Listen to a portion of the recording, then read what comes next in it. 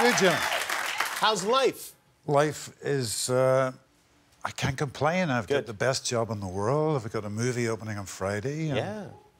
Is that the first time you met Manny Pacquiao, by the way? That was the first time, and I uh, we we made a film together. We I, I narrated his his life story. I saw that, and I knew that you'd done that, and I assumed, based on the fact that you were the narrator, that you I'd knew never him. met him. And you know something? I met Muhammad Ali many, many years ago, and I had the exact same feeling. My two knees were going like that, shaking his hand. Were they really? Yeah. Were you afraid he was going to hit you? But do you know when you meet a hero, I don't know if you have, Jimmy, but uh, I'm right now. leaving myself. aside. Yeah. you love boxing. You're, I know you're a big boxing fan. I love boxing. Who's your all-time favorite fighter? Muhammad Ali. Muhammad Ali. Yeah, that's a good choice. Do you go to a lot of the fights? Uh, not as much as I would like to. Will you go to the I Pacquiao I will- Mayweather? I will do anything to get there. I'm shooting a film uh, with Martin Sounds like one of your movies, by the way. It does. I'll do anything. I'm like, oh no.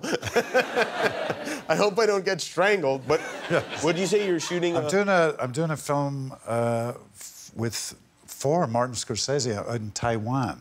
So um, Oh, wow. And, I'm I'm contracted until the end of April. So hopefully he'll shoot fast. Yeah. finish me by the end of April. Well, listen, you the just tell fight's him. May second, I think. So Say, listen, Marty, uh, my schedule's important. I got a boxing, I got a fight to go see, and uh, I'm sure he'll I'll be speed it up this for you. the text. Yeah. Well, so that you'll be running against the clock then. A little well, bit. and you worked with Scorsese before, right? I did uh, Gangs of New York. I had a small part in that at the start of the film. And Was that a dream? Was that like meeting a hero for you? Working? No. No, it wasn't.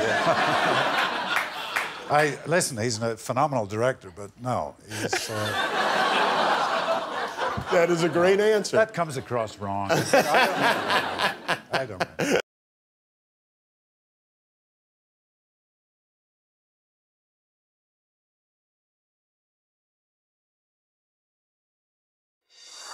Hi, I'm Jimmy Kimmel. Thanks for watching. It means a lot to me. And if you'd like to take our relationship to the next level, click the subscribe button below.